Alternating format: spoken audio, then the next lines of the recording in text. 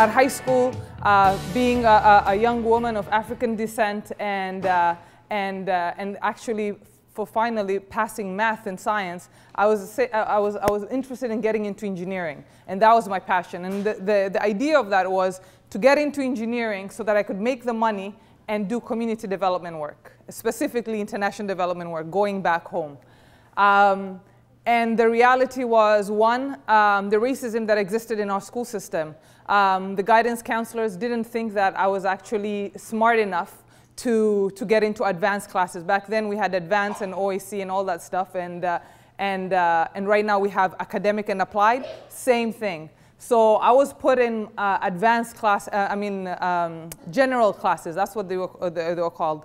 Um, from general classes, it wasn't until a teacher who pulled me out and said, what are you doing in my class? And I was like, what do you mean? I'm here in school, I'm excited, what are you talking about your class? She's like, this is a general class there's actually an academic class, and I think you're supposed to be in an academic class.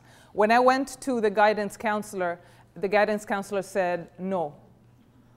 No, you cannot get into that class. So I spent the entire year of high school dealing with general classes um, to finish all those general classes, ESL classes, in order for me to go back again to grade 10 academic classes. So I lost a year.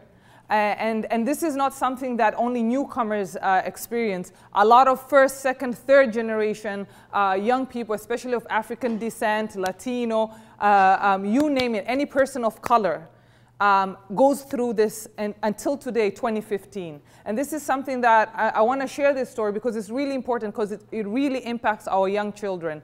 Um, being an educator, I see it in our elementary schools our young people start getting sort of like labeled and targeted, and the transition to the so-called uh, um, applied sort of like stream starts when they're in grade six, grade seven, grade eight.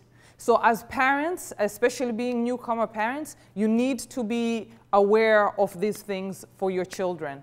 Uh, a lot of parents are not aware of this, and this is one, one sort of like story that I wanted to just sort of like share quickly. One quick thing, what could you do when you go home be, be, be, pay so much attention on your child's education because that is where we start losing our young people.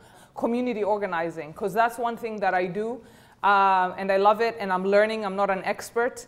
Um, it's something that I believe it's innately in us. Uh, one thing is we have a lot of things in common, yet we forget what our commonalities are and we get caught up with the differentiation, um, especially when you're dealing with this society where it's so easy to be divided through ethnically, um, through classism, and all this sort of like thing. So, for example, the African diasporic people, as black people, we always, you know, oh, that's a black people's issue.